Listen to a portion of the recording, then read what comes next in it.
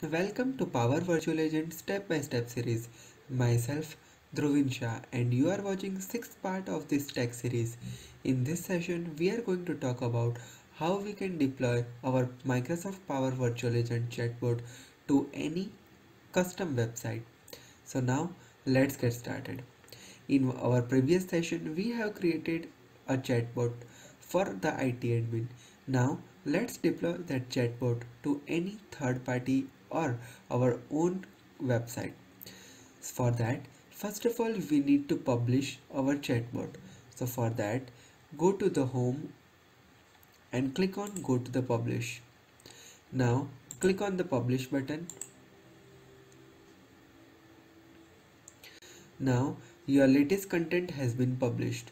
Now we need to go to the channel from the manage option. Go to the custom website. Now here you can see some embedded code is available. Now just copy that embedded code and now create one HTML file. I already created one HTML file and I just pasted the same code. I only modify one change. I just provided width and height as per my convenient. Alright? Now just save the page and now let's run the page. When we run the solution it will open a pop-up window like this now let's test our bot. You can see here it is prompting a message like this.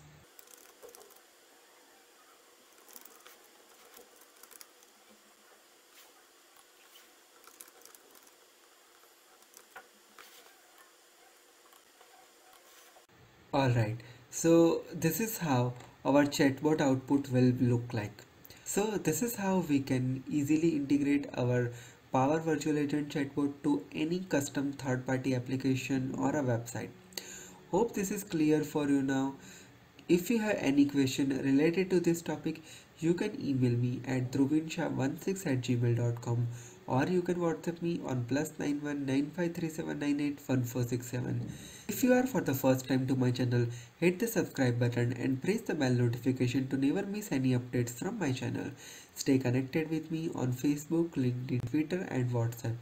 If you want to receive the daily notification from my channel, just click on this icon, fill the form and you will be receiving the daily notification on your channel.